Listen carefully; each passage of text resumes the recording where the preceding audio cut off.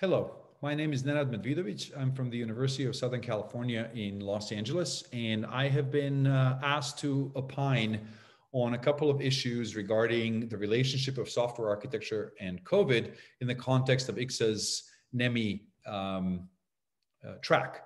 And uh, I subtitled this A Marriage of Inconvenience because this has obviously been a very inconvenient time for humanity. On the other hand, there have been certain things that have brought to the forefront the benefits that software engineering can actually bring to uh, humanity, and in particular, software architecture, because that's the aspect of software engineering that we're focusing on. So, the first question that I want to uh, opine on, say something about, is Does software architecture contribute to infrastructures for management of pandemics? And the answer to me is uh, a resounding yes. Uh, this has been shown multiple times, many times through failures rather than successes. But these are very large systems, and it um, their complexity and uh, kind of the speed with which they have had to emerge remind me of uh, some of the things that uh, go back to this TV show that I uh, occasionally watch, where one of the segments is titled facetiously, I don't know it for a fact, I just know it's true.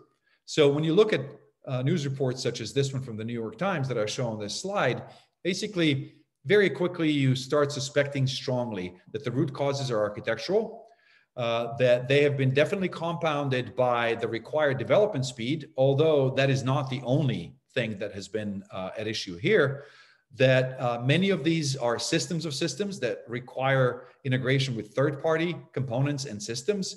They are very heterogeneous because they come from all over the place, developed by all kinds of agencies and organizations.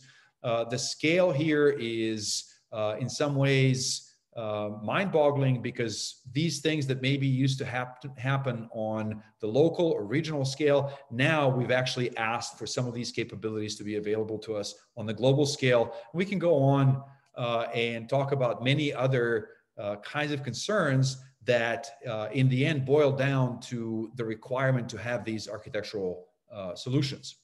So, what can we learn from this uh, or about this? From the software architectural perspective? Well, in this case, we needed systems fast and they needed to be put together from existing pieces.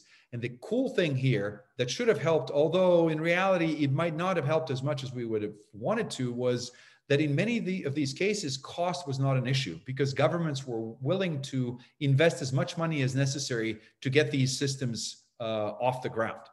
Um, we have again seen examples of where we have dealt with low hanging fruit relatively successfully, meaning that we've had many, um, for example, uh, uh, apps that were helping us trace contacts uh, so we can track where the infection is spreading and so forth. Although this hasn't always worked because part of the problem was that this is an example, again, of software engineers developing solutions for problems that they know how to develop uh, solutions for rather than problems that the public needs uh, solutions for. In other words, the hiccups that we have faced, in addition to these, many of these apps not being nearly as adopted as originally was expected, was the fact that when we needed these larger solutions, for example, in the US, this has been a serious issue, um, integrating many different pieces across many different regulatory and uh, governmental levels to allow people to do as simple of a thing as sign up for a vaccine these have actually not worked nearly as well. So, um, does this create new challenges for us from a software architectural perspective? Yes, it does. Uh, one of the things that we have to keep in mind, and I'll just focus on that in the context of this brief um, uh, talk of a few minutes, we are dealing with global systems of systems, and this has strongly suggested that proprietary architectures are useless. So if you go to the Center for Disease Control and Prevention uh, website in the US, uh, you will find many of these tools for dealing with various aspects of uh, pandemic. They are public tools in the public domain, open source, and so, and, uh, so on. So uh, the issue here is that these are not necessarily new problems. It's just that the stakes have been so much higher. So where does that leave us in the end in terms of the impact of COVID on the state of the research and practice in software architecture? I'm afraid that this is not actually going to revolutionize things. it might improve things in the context of software architecture research because we tend to look at these larger, longer term problems. But we have to remember not to forget this as soon as the fad passes, as soon as the funding goes uh, elsewhere, right? Because this is not a fad. This is a real thing, and new pandemics will arrive. We're, we're constantly being warned of this. Um, part of the issue here is that we might feel that there isn't anything new here, but that's kind of uh, sort of the the uh, everyday occurrence with software architecture research. It's not so much that there are new problems; it's that we don't have very good solutions for problems that uh, already exist. Um, the other issue that we need to look at here is what happens to software practice.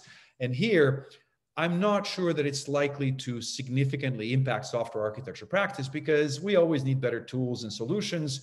Uh, and then the one aspect that is maybe unique to COVID is that this push for better, rather remote work, that really predates COVID. So the thing that I think is actually going to harm innovation in the uh, context of software architecture practice is that if you go back to the original kind of um, axiom of software engineering better, cheaper, faster, pick any two. Well, in this case, it was okay because uh, building it cheaply was not even an issue. So all we had to worry about was to build it better and faster. And even there, we kind of came up short. So I feel like, at, at least in terms of practice, we're facing the same issues we always face. Uh, in terms of research, we might have some room for innovation, but of course, you might hear other opinions, and I myself would be very curious to uh, learn more about those. Thank you.